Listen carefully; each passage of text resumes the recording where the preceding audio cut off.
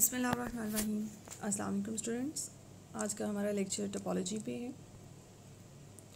एक छोटा सा रिज़ल्ट है जो इससे पहले भी मैं किसी लेक्चर में आपको करवा चुकी हूँ, लेकिन ये रिज़ल्ट मैंने स्पेशली आपको डिस्क्रीट टोपोलॉजी के हवाले से करवाया था। लेकिन अब उसका जो है जनरल वर्जन पढ़ लेते हैं बेसिकली ये देखिए जी, आपके पास फॉर एग्ज़ाम्पल एक्स एक टोपोलॉजिकल स्पेस है। ठीक है जी? एक्स एक टोपोलॉजिकल स्पेस है और आपको कहा जा रहा है कि आपने तो यहाँ पे आपको बताया जा रहा है कि एक्स एक टोपोलॉजिकल स्पेस है और एक्स के साथ जो टोपोलॉजी है वो उसको हम टॉ से रिप्रेजेंट कर रहे हैं।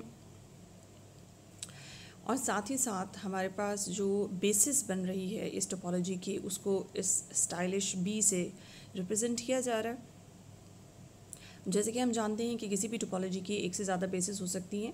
तो इस वक्त जो बेस डिस्कस की गई है, वो ये बी है। इसके अलावा बी स्टार एक और सेट है collection of subsets of X ये जो बी स्टार है, ये इसमें अगर आप देखें तो उसने कहा है कि ये बी स्टार जो है सुपर सेट है। This set is also the class of open sets which are containing B यानी कि इस केस में आप ये कह सकते हैं कि फॉर एग्ज़ाम्पल जैसे कि हम जानते हैं बेसिस के बारे में। या आपके पास अगर एक टोपोलॉजी है ठीक है, जो कि एक्स ऊपर बन रही है। तो ये जो स्टाइलिश बी है, ये, इसके जितने भी मेंबर्स हैं, ये टॉ में से ही हम सेलेक्ट करते हैं बेसिकली बेसिस के जितने भी मेंबर्स होते हैं, वो टॉ में से ही सेलेक्ट करते हैं। और आपने एक और मेंबर सेलेक्ट कर लिया, उसका नाम आपने रखा जी बी स्टार ठीक है? अब ये बी स्टार का क्या सीन है? बी स्टार पूरे बी को अपने अंदर कंटेन कर रहा है, ठीक है? इस ये बी स्टार बी के जितने भी मेंबर्स हैं, वो बी स्टार के अंदर है, यानी कि B star is the super collection of B ये देखें सिचुएशन यहाँ पे इस तरह से लिखी हुई है कि बी पूरे का पूरा जो कलेक्शन ऑफ़ सेट्स है, वो बी स्टार के अंदर है और बी स्टार फाइनली हमने कहाँ से लिया है? ये हमने टॉ से लिया बी और बी स्टार दोनों टॉ से हैं और बी जो है, वो बी स्टार में कंटेन है। अब आपको ये इन्फॉर्मेशन दी गई है कि बी आपकी बेसिस है।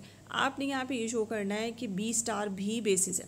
बेसिकली जो मेन कॉन्सेप्ट है इस थेरम का वो ये है कि अगर आपके पास किसी टोपोलॉजी की कोई बेसिस आपको मिल जाती है तो उस बेसिस का हर सुपर सेट उस भी उसी टोपोलॉजी की बेसिस होगा। जो मेन मैसेज uh, है इस थेरम से वो ये जाता है कि अगर आपके पास एक बेसिस है किसी भी टोपोलॉजी की तो उस बेसिस का हर की हर सुपर क्लास जो है वो भी उसी टोपोलॉजी की बेसिस होगा।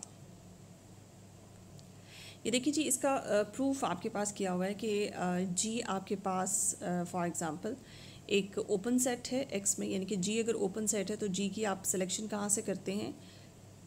जी की आप सिलेक्शन टॉ से करते हैं। और टॉ के सबस्क्रिप्ट में जानबूझ के एक्स लिख देती हूँ ताकि पता चले कि ये सुपर टोपोलॉजी है जो कि एक्स पे बन रही है।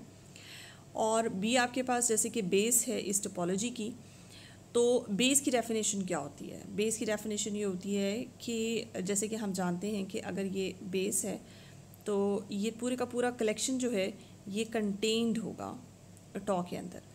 और इसका लिंक टॉ के हर मेंबर के साथ ये होता है कि हर टॉ ओपन सेट उसकी खासियत ये होती है कि वो इन बेसिस के मेंबर्स की यूनियन की फॉर्म में लिखा जा सकता है। यानी कि हर open set of the super topology को अगर इन बेसिस के मेंबर्स के यूनियन से वो जनरेट हो रहा है तो फिर हम कहते हैं कि ये बेसिस ये बेसिस की बेसिकली बेसिक डेफिनेशन होती है। जैसे कि लिखा हुआ है कि अगर जी हम एक ओपन सेट तलाश करते हैं या सेलेक्ट करते हैं टॉ में से तो G is the union of members of B such that G को इस तरह से लिखा जा सकता है। अगर फॉर एग्ज़ाम्पल आपके पास बी के अंदर कुछ मेंबर्स हैं, उनको हम बी आई से रिप्रेजेंट कर देते हैं B one B two and so on अब कितने हैं, ये मैं नहीं कह रही कि कितने हैं, ज़रूरी नहीं कि ये फनाइटी हों ये इन्फिनिट भी हो सकते हैं। तो इनमें से कुछ बी आईज़ को आप यहाँ पे सेलेक्ट करें, उनका यूनियन करें, और उनके यूनियन से आपके पास अगर जी बन जाए, और वो कोई भी हो सकते हैं, ठीक है?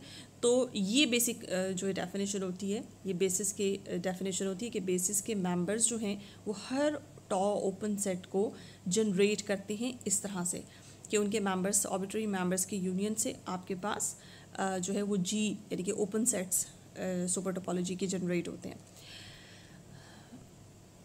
अब यहाँ पे सीन क्या है? यहाँ पे सीन ये है आपके पास कि चूँकि आपने कहा हुआ है कि, ये देखें, ये तो डेफिनेशन हो गई बेसिस की डेफिनेशन आपने कहा हुआ है कि आपने ये सारे बी आईज़ कहाँ से सिलेक्ट किए? ये आपने बी आईज़ सिलेक्ट किए बी में से. लेकिन हम ये जानते हैं अपनी स्टेटमेंट के गिवन इंफॉर्मेशन से कि बी पूरे का पूरा जो क्लास है बी की क्लास जिसको हम बेसिस कह रहे हैं, ये बी स्टार के अंदर कंटेंट है. तो जब आप ये कहते हैं कि आपने ये बी आईज़ सेलेक्ट किए हैं बी से तो दूसरे लफ्ज़ों में से ये कहा जा सकता है कि ये बी आईज बी स्टार से भी सिलेक्टेड हैं, क्योंकि ये उसके भी सबसेट्स हैं।